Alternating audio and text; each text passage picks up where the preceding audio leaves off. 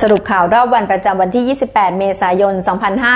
2566 คืบหน้าคดีนางสรารัตน์ดังศรีวุฒาพรหรือแอม ผู้ต้องสงสัยวางยาฆ่าชิงทรัพย์ล้างหนี้ ซึ่งในจำนวนผู้เสียชีวิตพบว่ามีนายสุทธิศักดิ์หุนขวัญหรือแด้สามีอีกคนที่ไม่ได้จดทะเบียนสมรส เสียชีวิตด้วยสาเหตุหัวใจเต้นผิดจังหวะ เมื่อวันที่ 12 มีนาคมที่ผ่านมา ซึ่งตำรวจนะคะได้เชิญตัวนายกอล์ฟคนสนิทของนายแด้มาสอบปากคำค่ะ เนื่องจากมีข้อมูลว่านางแอมนั้นเคยนำขวดยาบางชนิดไปฝากไว้กับนายกอฟ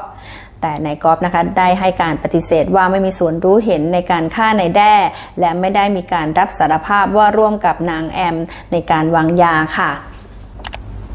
นายศรีสุวรรณจันยาเลขาธิการสมาคมองค์การพิทักษ์รัฐธรรมนูญ ยื่นคำร้องขอให้กกตสอบสวนและวินิจฉัย กรณีที่นายพิธาลิ้มเจริญรัตหัวหน้าพักก้าวไกล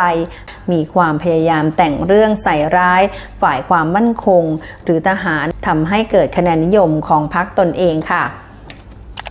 นางพนิดาศิรยุทธโยธิน มารดาของนางเอกสาวแตงโมนิดาวัชระวิรพงศ์ยื่นฟ้องเรียกค่าเยียวยาเพิ่ม